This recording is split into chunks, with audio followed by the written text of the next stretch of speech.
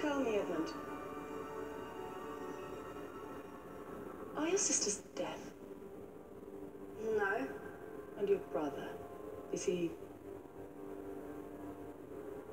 unintelligent? well, I think so.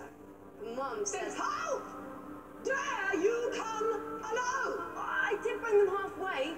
They're at the little house at the dam with the beavers.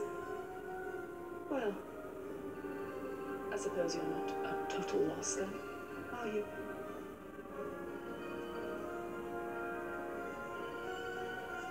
Maugrim, you know what to do.